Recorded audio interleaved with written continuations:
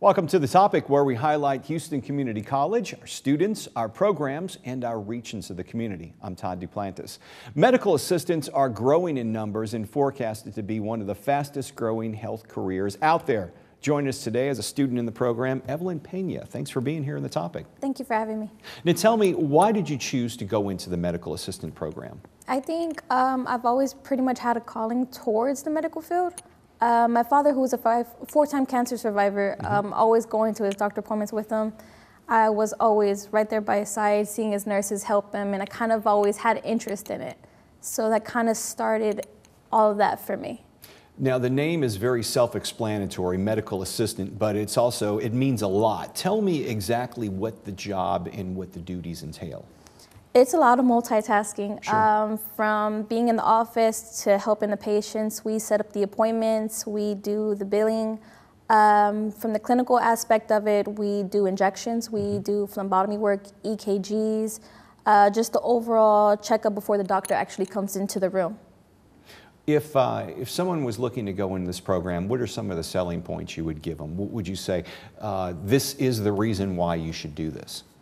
Um, overall, it's just the overwhelming feeling. Uh, mm-hmm. Just to help somebody, and then to be that educated and just that good at doing what you're doing.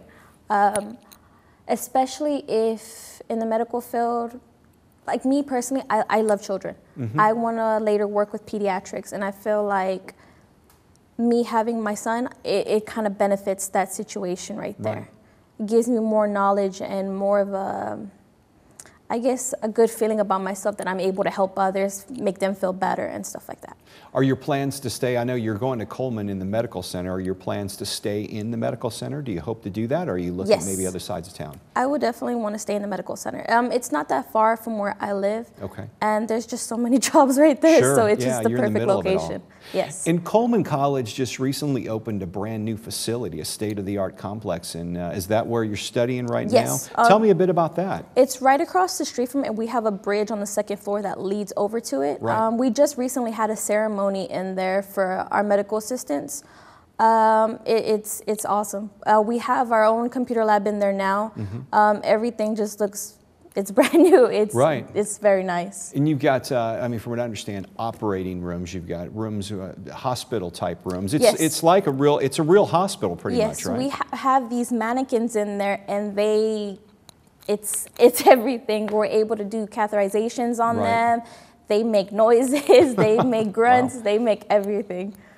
And how is that in the training when you're when you're dealing with that? Is it is it um, uh, is it? Um, more than rewarding, but is it very challenging when you're trying to deal with a mannequin as opposed to a real person? It is challenging, but I feel like it gives a better understanding on everything. Um, at HCC, we do a lot of hands-on stuff. Right. It's we we're able to do live sticks on our classmates to where we're able to know the exact location for the intramuscular side and the mm-hmm. subcutaneous. We take blood from one another. We do actual EKGs on one another where we will room our classmates into mm-hmm. one of the patient rooms and have them undress from their top and go and like place the leads on them. So right. it's a better understanding. So when we do go to our clinical sites or our jobs, we have a better knowledge on it. And how long is the program? It's a year. It's a one-year program. Yes, okay. it's a one-year program. So, are you? How far are you along in it? And are you looking to do anything afterwards, or just go directly into the job placement? Um, directly into the job. I have one more semester. Okay. Summer is going to be my last semester, and I actually already have an interview for Baylor College of Medicine. Wow. Yes, for my clinical That's site. great. Yes, so I'm pretty excited. Yeah, absolutely. Well, congratulations to you, and, you. and, getting through the program, and good luck in that job. Hopefully Thank you, you so much. It. Evelyn Pena, thanks for joining us here on the topic. And if you'd like to learn more about the ever-growing medical assistant program here at HCC, you can log on to hccs.edu slash medical assistant. For the topic on HCC TV, I'm Todd Duplantis. I'll see you next time.